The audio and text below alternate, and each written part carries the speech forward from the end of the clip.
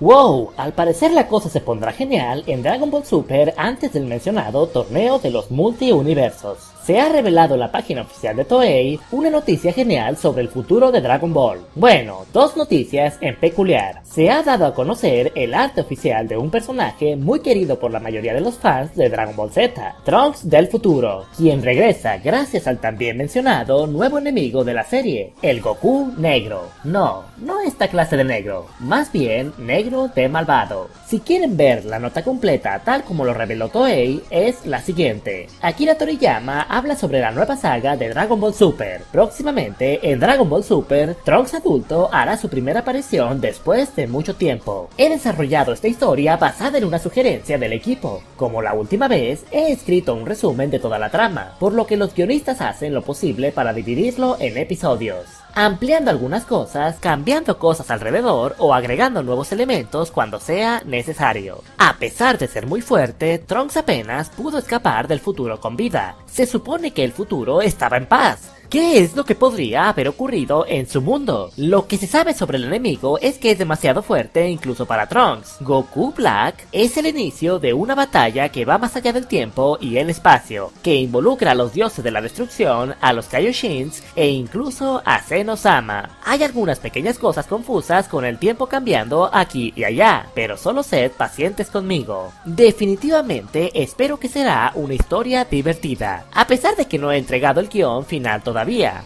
Vamos a disfrutarlo juntos. Bueno, solo basta decir que esto pone muy emocionante las cosas. Algo curioso es que muchos fanáticos ya habían predecido el que hubiese un Goku del otro universo que fuera maligno, y a pesar de que a muchos no les llamaba la atención la idea, a mí en peculiar me emociona bastante. Sé que usualmente es un recurso sencillo, el solo hacer un personaje opuesto, pero a pesar de lo sencillo, muero de ganas de ver cómo lo escribe Akira Toriyama, que es buenísimo para darle guion a los personajes y en hacer igualmente personajes entrañables o memorables. Sobre la noticia de Trunks, espero que le dé un tono un poco más serio al anime, ya que la llegada de Trunks en Dragon Ball Z es una de las partes más serias de toda la saga, pero Dragon Ball Super no me ha demostrado querer ir hacia ese rumbo, así que solo queda esperar.